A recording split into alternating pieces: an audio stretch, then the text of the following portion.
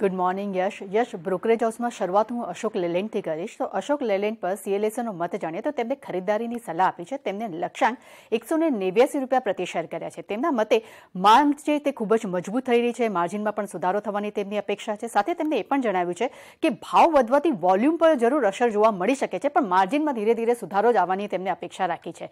અને તેમને એ પણ જણાવ્યું છે કે હેવી ટ્રક્સથી માર્કેટ શેરને એક પ્રોત્સાહન મળ્યું છે, જે સતત આગળ યથાવત જ રહી શકે છે તેવી તેમની અપેક્ષા છે. છે. હવે ઇન્ટરગ્લોબલ એવિએશન પર જેફરીઝનો મત જાણીએ, તેમને અંડર પરફોર્મ રેટિંગ રાખ્યા છે, તેમને લક્ષ્યાંક સોળસો ને પંદર રૂપિયા પ્રતિ શેર કર્યા છે. તેમના મતે ભારતના એવિએશન માર્કેટમાં ઇન્ડિગો તે સૌથી ઝડપથી ગ્રોથ કરી રહ્યો છે. હવે નાયકા પર નોમુરાનો મત જાણીએ, તેમને ખરીદારીની સલાહ આપી છે. લક્ષ્યાંક તેમને બસો ને ચૌદ રૂપિયા પ્રતિ શેર કર્યા છે.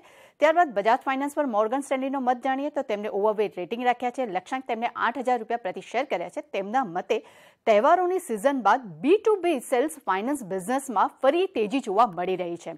અને એટલું જ નહીં, તેમનું એ પણ કહેવું છે કે quarter four FY twenty three અને એફવાય ટ્વેન્ટી ફોરમાં સારો ગ્રોથ જોવાની પણ અપેક્ષા છે. હવે એસબીઆઈ પર મોર્ગન સ્ટેન્ડીનો મત જાણીએ, તેમને ઓવરવેટ રેટિંગ રાખ્યા છે. લક્ષ્યાંક તેમને સાતસો ને પંદર રૂપિયા પ્રતિ શેર કર્યા છે. તેમના મતે લોન ગ્રોથ સારો રહેવાની અપેક્ષા છે અને આવનારા બે ક્વાર્ટરમાં માર્જિનમાં પણ સુધારો આવવાની અપેક્ષા છે. પરંતુ હાલમાં ટૂંકા ગાળામાં બેંકની ફંડ એકત્ર કરવા પર કોઈ યોજના નથી. અને એ સાથે એમનું એ પણ કહેવું છે કે આરઓએ એકથી એક પોઈન્ટ એક ટકાની વચ્ચે રહેવાની અપેક્ષા છે. ત્યારબાદ બેંક ઓફ બરોડા પર મોર્ગન સ્ટેન્ડીનો મત જાણીએ તેમને ઓવરવેટ રેટિંગ રાખ્યા છે. લક્ષ્યાંક તેમને એકસો ને પચીસ રૂપિયા પ્રતિ શેર કર્યા છે. તેમના મતે હાલમાં માર્જિન છે તે સ્ટેબલ રહેવાની અપેક્ષા છે અને આ અપેક્ષા બેંકે પણ રાખી છે. સાથે તેમને એ પણ જણાવ્યું છે કે લોન ગ્રોથનું આઉટલુક તે ખૂબ જ મજબૂત છે, પરંતુ બે હજાર ત્રેવીસમાં આ આઉટલુકમાં એક સ્થિરતા કદાચ આવી શકે છે તેવી અપેક્ષા તેમને રાખી છે. ત્યારબાદ એક્સિસ બેંક પર મોર્ગન સ્ટેન્લીનો મત જાણીએ તેમને ઓવરવેટ રેટિંગ રાખ્યા છે. લક્ષ્યાંક તેમને બારસો રૂપિયા પ્રતિ શેર કર્યા છે. આઈસીઆઈસી બેંક પર મોર્ગન સ્ટેન્લીનો મત જાણીએ તેમને ઓવરવેટ રેટિંગ રાખ્યા છે. લક્ષ્યાંક તેમને બારસો ને પચાસ રૂપિયા પ્રતિ શેર કર્યા છે.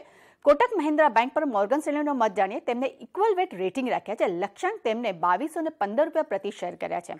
તેમના મતે લોન ગ્રોથ ખૂબ જ મજબૂત છે, પરંતુ હાલના ક્વાર્ટરમાં માર્જિનમાં ધીરે ધીરે સુધારો આવી શકે છે.